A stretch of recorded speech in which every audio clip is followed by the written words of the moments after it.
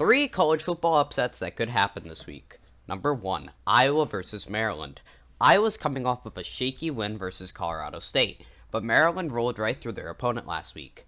Maryland might also want to show something in this game, showing that they can be a Big Ten East contender. Number two, Arkansas versus Georgia. Arkansas is coming off of a great win versus a very solid Texas A&M team.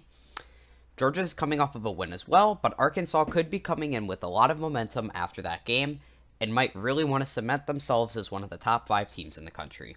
Number three, Ole Miss versus Alabama. Two high flying offenses, but I feel like Ole Miss's is better.